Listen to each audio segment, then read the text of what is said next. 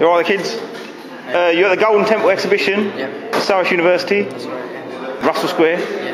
Have you enjoyed yourself at the Golden Temple exhibition? Seeing artifacts that you know something from lost history, and then just seeing everything right here, um, it's amazing. You know, I thought these things didn't exist. You know, the battle uniform, the armor, the pictures, everything. is amazing. Just looking back at Sikh history and uh, heritage, you know. How about yourself, young lady? What have you seen here today that you really makes you happy?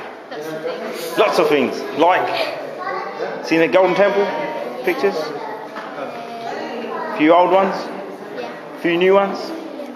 Yeah? so we've got a website. It's called gt1588.com. Everyone check it out.